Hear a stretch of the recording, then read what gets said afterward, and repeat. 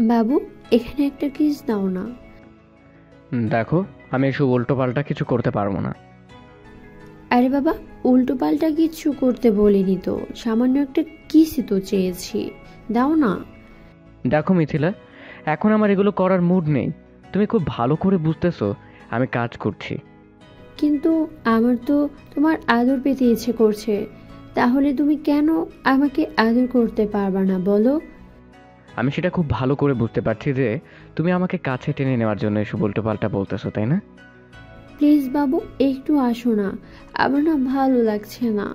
তারপরও তুমি এমন করে আমাকে দূরে সরিয়ে কেন দিতেছো? দেখো জান আমি এখন কাজ করছি। তুমি কাজের মধ্যে বারবার বাধা দিও না। কাজটা কিন্তু তোমাদের অফিসেরই। তার উপর যদি তোমার ভাই তারপর যদি কাজটা সময় মতো না দিতে পারি তাহলে তোমার ভাইয়া ভাববে যে আমি শুধু তার বোনের সাথে রোম্যান্সটাই করি। রোমান্স না কচু করো। আমি তো জানি তুমি আমাকে এখন ভালোবাসতে চাও না। এখন আমাকে কাছে টেনে নিতে চাও না। যখনই আমি তোমাকে যখন ভালোবাসতে বলি তখনই তুমি আমার থেকে দূরে সরে যাও। কেন এমনটা করো বলো তো? আমি কি খুব বেশি পূর্ণ হয়ে গেছি? দেখো মিথিলা এখানে পুরনো নতুনের কোনো কথা উঠছে না। আর আমি এখন কাজ করতেছি। তুমি জানো যে কাজের সময় এগুলো করতে আমার ভালো লাগে না। তারপরও তুমি এর কম করতেছো কেন? দেখো যান আমি এখন কাজ করছি, প্লিজ। বাবুনি, এরকম পাগলামি করো না। তারপর যদি কাজে কোনো ভুল হয়ে যায়, তখন কিন্তু তোমাদেরই সমস্যায় পড়তে হবে। তারপর তোমার ভাইয়ের কাছে আমার কথা শুনতে হবে। সেটা কি খুব ভালো হবে, বলো? কিছু হবে না। তাছাড়া কিছু একটা হলে ভাইয়াকে আমি বুঝিয়ে বলব। ভাইয়া খুব ভালো করে জানে, তার বন্ধু তার বোনটাকে কত বেশি ভালোবাসে। তাহলে তুমি এরকম করতেছো কেন? ভাইয়া তো চায় আমরা সুখে থাকি, তাহলে তুমি আমার কাছে আসতে পারবে না? আচ্ছা ঠিক আছে।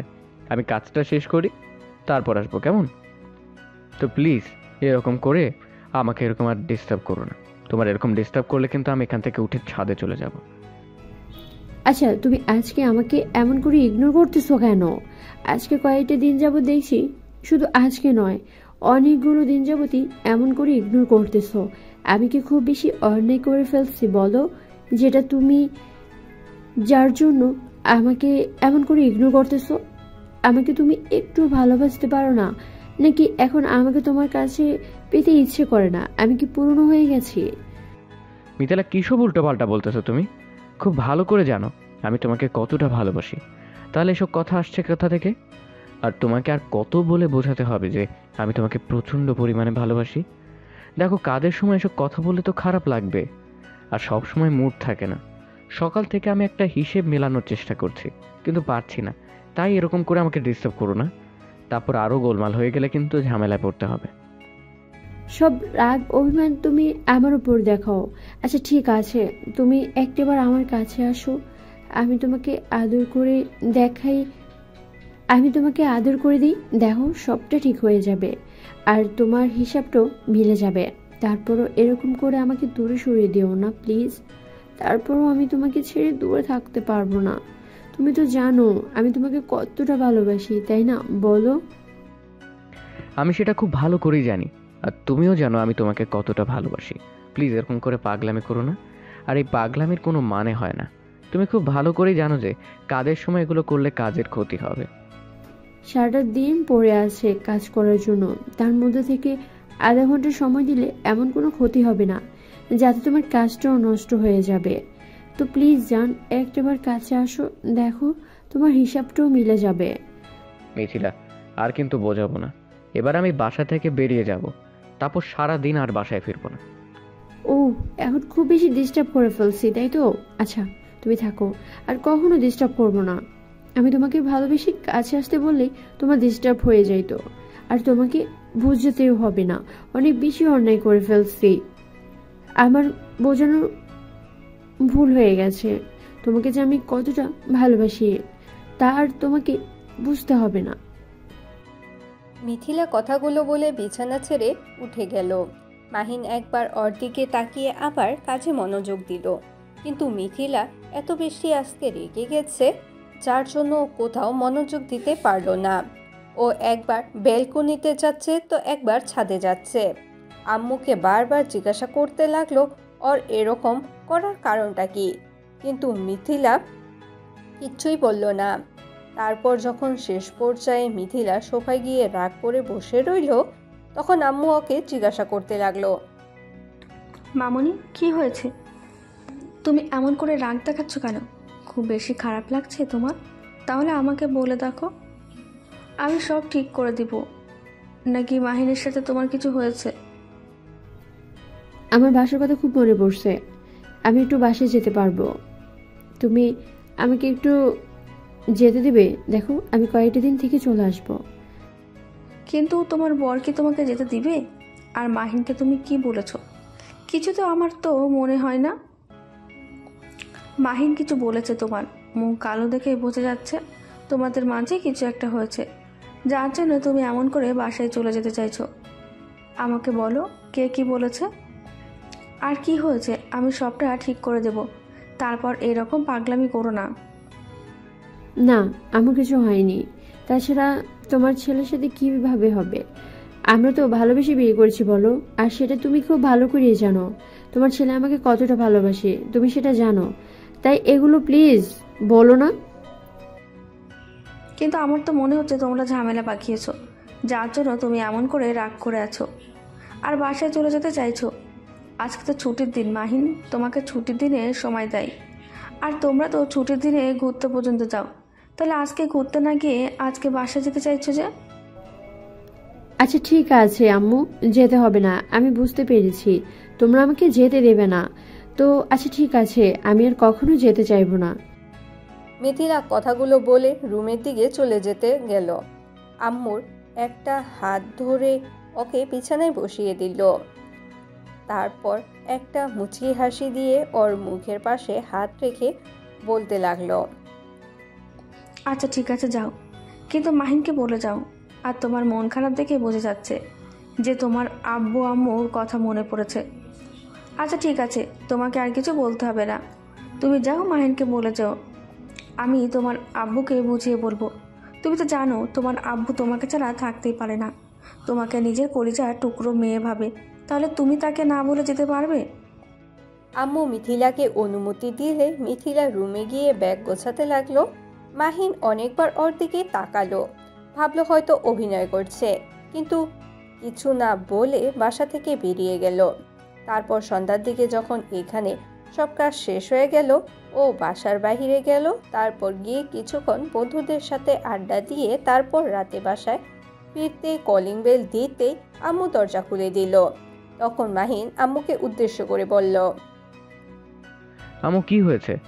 তুমি এমন করে দরজা খুলে দিলে? মিথিলা কোথায়? ওকে তো দেখলাম না। ওকে দেখবি কি করে? ও তো বাসায় গেছে। কেন, তোকে বলে যায়নি নাকি? তোদের মাঝে কোনো ঝামেলা হয়েছে? সত্যি করে বলতো মিথিলা, তখন কেমন যেন মুখ কালো করেছিল। তার উপর তুই বলছিস মিথিলা কোথায়? আমার তো এখন তোদের এরকম কথাতে বারবার সন্দেহ লাগছে। আমার মনে হচ্ছে তোদের মাঝে কোনো ঝামেলা হয়েছে। এবার আম্মুর এরকম কথাতে মাহিন বুঝে গেল যে মিথিলা সত্যি বাসায় চলে গেছে। আর মাহিনের মনে হতে লাগল, এখন যদি বিষয়টা বলি তাহলে অনেক বেশি টেনশন করবে। আর রাগারাগি করবে, মাহিন রুমে চলে গেল, তারপর ফ্রেশ হয়ে খাওয়া দাওয়া করে বিছানায় গিয়ে শুয়ে পড়ল। কিন্তু ঘুম আসছিল না, তাই আর কোনো উপায় না পেয়ে মিথিলাকে কল করল। কিন্তু মিথিলা ফোন টা বিজি দেখাচ্ছে আর বারবার কেটে দিচ্ছে। তারপর একটা সময় মাহিন ঘুমিয়ে পড়ল। পরের দিনও মিথিলা বাসায় আসলো না। এভাবে পুরো সাতটা দিন কেটে গেল। যার জন্য মাহিনের প্রচণ্ড পরিমাণে খারাপ লাগছিল। বুঝতে পারল অনেক বেশি কষ্ট পেয়েছে। তাই মাহিন মিথিলার বাসায় চলে যায় বুঝতে পারে। তারপর গিয়ে ওর রুমে আসতে দেখে মিথিলা আনমনে কি যেন একটা দেখছে। বুঝতে পারল যে মাহিনের ছবিটাই দেখছে। তখন মাহিন গিয়ে মিথিলার পাশে বসলে মিথিলা ফোনটা লুকিয়ে ফেলল আর চোখের পানিগুলো তাড়াহুড়ো করে মুছে দিয়ে বলতে লাগল আরে তুমি এখানে? তাছাড়া তোমাকে এখানে কে আসতে বলেছে বলো? আমার শ্বশুর বাড়ি আমি আসব। তাতে তোমার কি? আর তোমাকে বলে দিতে হবে নাকি? আমি কোথায় যাব আর কোথায় যাব না? তোমাকে সব সময় সব কিছু বলে দিতে হবে আমাকে বলো? না বলে দিতে হবে না। কিন্তু তোমার এরকম কর্মকাণ্ডে আমি অবাক হয়েছি। তুমি তো সারাটা দিন আমার কোনো খোঁজ খবর নাওনি। খোঁজ খবর নিয়েছিলাম।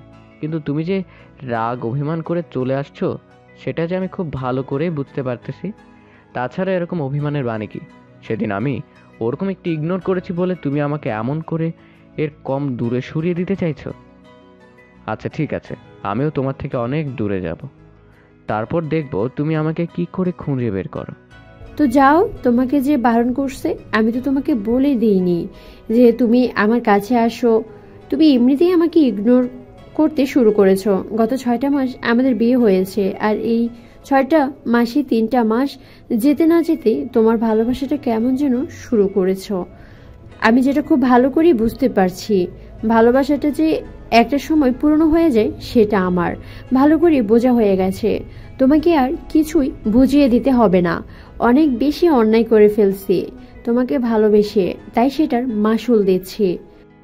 মিথিলা, তুমি আমার উপর এত রেগে আছো? এখন থেকে আর ইগনোর করবে না। কিন্তু দেখো, আমি কাজগুলো তো আমাদের ভবিষ্যতের বেবির কথা ভেবেই করি।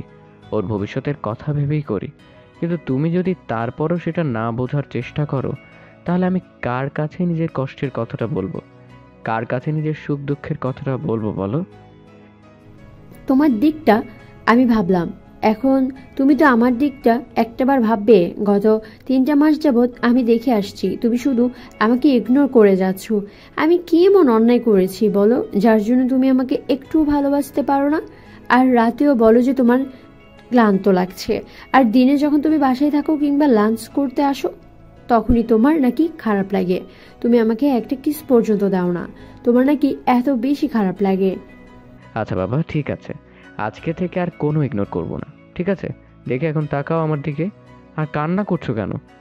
তুমি আমি জানি আমার বউটা অনেক বেশি কষ্ট পাচ্ছে আমার থেকে দূরে থাকতে। তুমি যদি ভেবে থাকো তোমার জন্য আমি কান্নাকাটি করব সেটা তোমার ভুল ধারণা। বিয়ের আগে করেছি এখন আর করতে চাই না। অনেক কাঁদিয়েছো। আমাকে এখন থেকে শুধু তুমি কাঁদবে। মাহিন বুঝতে পারল মিথিলা অনেকটাই রেগে আছে, তাই জোরপূর্বক কাছে যাওয়ার চেষ্টা করলে মিথিলা উঠে চলে যেতে লাগল। তখনই মাহিন মিথিলার হাত টেনে ধরাতে মিথিলা হুড়মুড় করে ওর বুকের উপর পড়ে গেল। জড়িয়ে ধরে তারপর ওর মুখে জোরে সোরে একটা ফু দিলে ওর সাথে সাথে মিথিলা চোখ মুখ জোড়া কুচকে নিল। মুখের এক পাশে হাত রেখে তারপর ওর গালে আর কপালে একটা কিস করে দিল তখন মিথিলা বলতে লাগল একদম কিন্তু আমার সাথে দুষ্টুমি করার চেষ্টা করবে না। তাহলে কিন্তু আমি আমি আমার বউয়ের সাথে দুষ্টুমি করব। তাতে তোমার কি? আর তুমি বলার কে?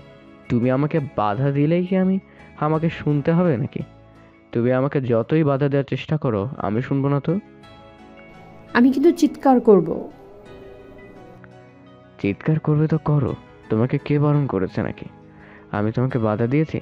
আমি কি চিৎকার করতে একটু সাহায্য করব? মিথিলা যখন একটা চিৎকার দিতে যাবে মাহিন সাথে সাথে অর ওর জোড়া নিজে দখলে নিল। মিথিলা আর কোনো কথা বলতে পারল না। চোখ জোড়া বড় বড় করে মাহিনের দিকে তাকিয়ে রইল। তো ভালো থাক ভালোবাসা।